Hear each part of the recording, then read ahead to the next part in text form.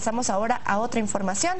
Y le comento que la Comisión de Salud del Congreso ha pedido al Ejecutivo que implemente más seguridad en los hospitales del Sistema Nacional para evitar futuros casos como el de la bebé robada en el Hospital San Juan de Dios el caso que sucedió en Suchitepeque, en Mazatenango, que a la fecha pues está apagado, no hay informe de ADN, no hay informe del ente investigador todavía, que es el Ministerio Público, las autoridades de salud como que ya se, se les entró la, tranquilidad y la fiscalización que hicimos a toda la red hospitalaria de Chamartenango, especialmente dentro del marco del decreto 32-2010, ley para la maternidad saludable. Pero afortunadamente o desafortunadamente sucede otro caso fatídico en el San Juan de Dios que deja mucho que desear.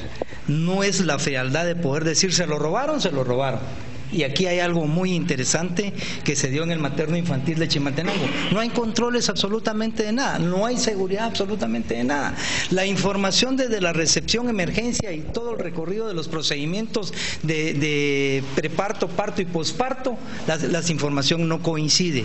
Falta de honestidad, falta de sinceridad y falta de capacidad gerencial. Aquí hay que deducir responsabilidades. Es una debilidad institucional de todo el sistema de salud que está a las manos y a merced de todo aquel que quiera hacer algo ilícito contra la salud de los guatemaltecos. Y Chimaltenango no es la excepción.